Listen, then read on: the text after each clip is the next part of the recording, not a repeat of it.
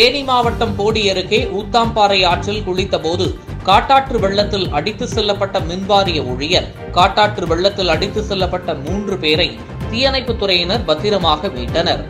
காஞ்சிபுரம் மாவட்டம் பாலாஜாபாத் ஒன்றியம் முத்தியால்பேட்டை ஊராட்சியில் ஒன்பது லட்சத்து எண்பதாயிரம் ரூபாய் மதிப்பீட்டில் சிமெண்ட் சாலை அமைக்கும் பணி துவங்கப்பட்டது.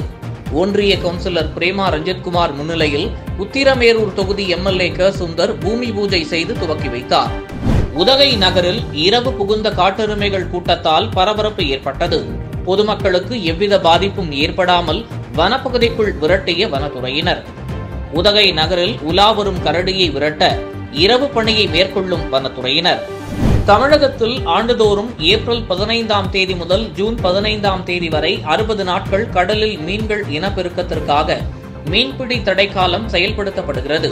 இதனால் விசைப்படகு மீனவர்கள் யாரும் கடந்த அறுபது நாட்களாக கடலுக்கு செல்லவில்லை. சுமார் அறுநூற்றுக்கும் அதிகமான விசைப்படகுகள் ராமேஸ்வரம் பாம்பன் கடலோர பகுதியில் நிறுத்தப்பட்டு இருந்தன. நேற்று இரவு மீன்பிடி தடைக்காலம் முடிந்த நிலையில் சுமார் ஐநூற்றுக்கும் அதிகமான விசைப்படகுகளில் மீனவர்கள் நள்ளிரவு பனிரெண்டு மணிக்கு மேல் கடலுக்கு சென்றனர். நெல்லை மாவட்டம் சேரன் மகாதேவி யூனியனுக்கு உட்பட்ட மூலச்சி குளத்தை உடனடியாக தூர்வார கோரி யூனியன் தலைவர் தலைமையில் திமுகவினர் மாவட்ட ஆட்சியரிடம் கோரிக்கை மனு அளித்தனர். நாகை மாவட்டம் நாகூர் பட்டினச்சேரி மீனவ கிராமத்தில் கீழத்தெரு மேலத்தெரு மீனவர்களுக்கு இடையே மீன் விற்பனை செய்வதில் தகராறு ஏற்பட்டது. இதனால் அந்த பகுதியில் பரபரப்பு ஏற்பட்டது. ஆவடி அரசு பள்ளியில் தமிழக பால்வளத்துறை அமைச்சர் திடீர் ஆய்வு மேற்கொண்டார். ஆய்வின் போது அமைச்சருக்கு சல்யூட் செய்த மாணவர்களுக்கு சல்யூட் வைத்த அமைச்சர். மேற்கு தொடர்ச்சி மலைப்பகுதியை ஒட்டிய விளைநிலங்களில் நெல் உள்ளிட்ட பயிர்களை சேதப்படுத்தும் வனவிலங்குகளை காட்டுக்குள் விரட்ட வனத்துறை நடவடிக்கை எடுக்க வேண்டும் என விவசாயிகள் கோரிக்கை விடுத்துள்ளனர். தூத்துக்குடியில் மீன்பிடி தடைக்கால முடிவுக்கு வந்ததை தொடர்ந்து விசைப்படகுகள் இன்று அதிகாலையில் கடலுக்கு சென்றன. இதனை மீனவ மக்கள் பட்டாசு வெடித்து கொண்டாடினர். இரண்டு மாதத்திற்கு பின்பு மீனவர்கள் கடலில் மீன்பிடிக்க விசைப்படகுகளில் செல்வதை பார்ப்பதற்காக மாவட்டத்தின் பல்வேறு பகுதிகளில் இருந்தும் மீனவர்கள் வந்திருந்தனர். சென்னை நுங்கம்பாக்கத்தில் தலித் மற்றும் பழங்குடியினர் மீதான வழக்குகள் குறித்த விசாரணை நடுவம் வட்டமேசை மாநாடு நடைபெற்றது.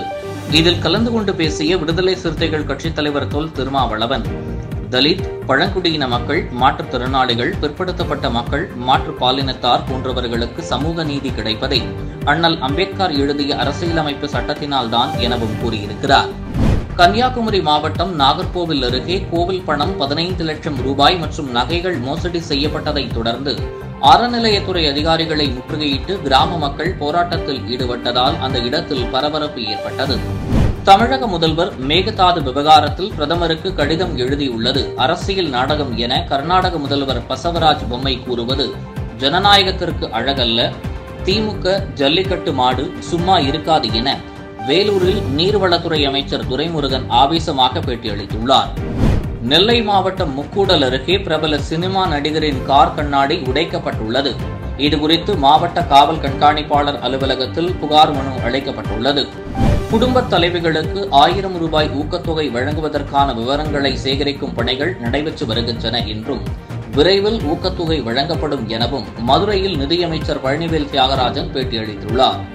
திருப்பூரில் இந்திய தேசிய காங்கிரஸ் கட்சியின் தேர்தல் தேதி மூன்று முறை ஒத்திவைக்கப்பட்டுள்ளதை கண்டித்து கட்சியினர் கட்சி அலுவலகத்திற்குள் உள்ளிருப்பு போராட்டம் மேற்கொண்டனர். தேனி மாவட்டத்தில் அதிமுகவின் ஒற்றை தலைமைக்கு பதவியேற்குமாறு ஓ பன்னீர்செல்வத்துக்கு ஆதரவு தெரிவித்து தேனியில் சுவரொட்டிகள் பிளக்ஸ் பேனர்கள் வைக்கப்பட்டு வருகின்றன.